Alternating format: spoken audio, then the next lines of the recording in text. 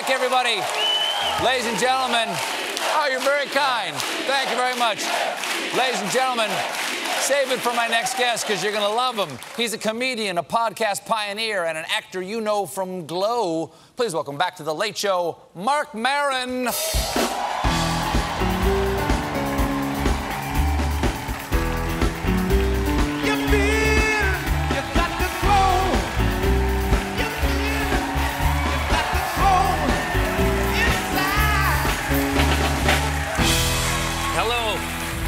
Hello, Marc Maron. How are you, man? Nice to see you again. Last time I saw you, we were sitting down uh, in a recording studio to do your uh, WTF. Uh, that right. My, we did podcast. my show. Did your show? I very in- much in- enjoyed talking in to you. your building right in the little studio. because that was the only choice I had, Stephen.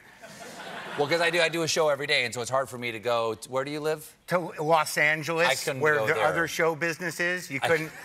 The mothership. You Yeah. live out with the mothership out there. I, I didn't mind doing it for you. You know, Thank you very I, much. I, I waited years to talk to you, Sure. and uh, Though you you've talked to me many times. No, but on the many times. podcast, and you sequestered me in a strange room in the building. Yes.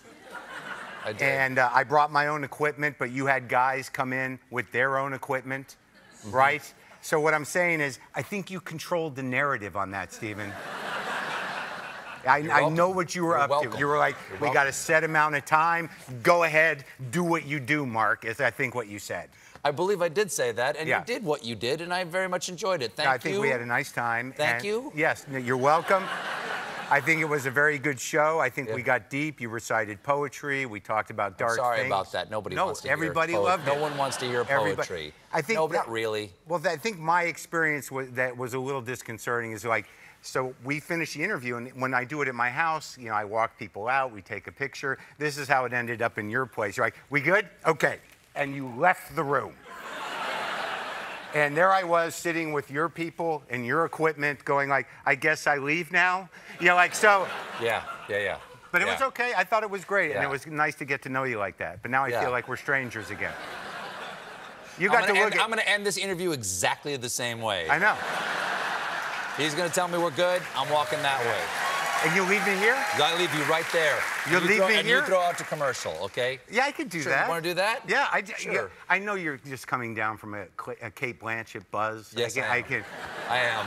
I can see Marc, it in your Marc, eyes. right? It's Marc, Maron. Exactly, yeah. exactly. I'm still seeing Cate You did my, Blanchett yeah, you did my podcast. here. Yeah. When she was walking out, I tried to have just a little high, high you know, look at me moment. Nothing. Got nothing. she she walked by me. I, you know that weird look where you hope somebody notices you and you're like, huh? And, and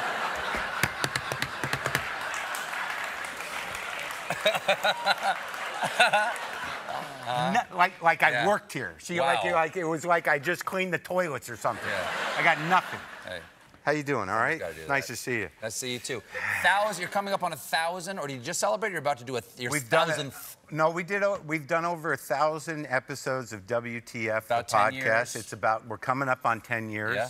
And uh, I still get nervous and excited to talk to people. Mm-hmm. It's a little weird now because I originally did it in my garage. and my, I have a new house, and the garage is being worked on. So now we have to do it in, in my actual house, Oh. upstairs in one of the bedrooms, which is awkward. That is. You know, I.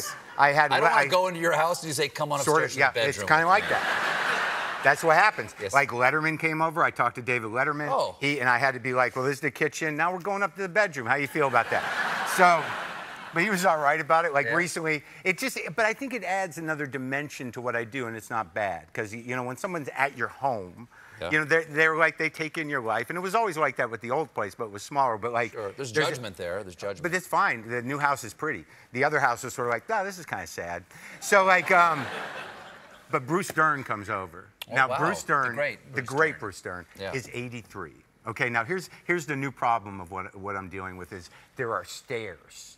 There are stairs. Oh, no. He's 83. He's usually pretty spry. 83 he is, but he had recently had a little hip problem, right? So there's stairs coming into the house, which he was having a hard time with. Oh. So like right right it out of the gate, I'm like, this is going to be a problem. I don't even know if I'm going to get Bruce Dern up the main stairs. So we get him in, we get him up the stairs. It worked out. Piggyback? What'd you do? No, no. A couple. We helped him up. You know, a couple. Okay. Me and uh, his uh, his person.